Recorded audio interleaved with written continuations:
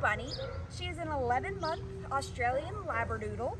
Um, she came to us just for some nervous behavior to build that confidence up a little bit as well as her general obedience. Um, let's go ahead and see what she knows. Bunny, can you come? Come, good. Kind of, a little nervous, that's all right. Bunny, can you come? Yes, good girl. Oh, good. We got to sit, that's great. What about a down? Can you down? Down. No, just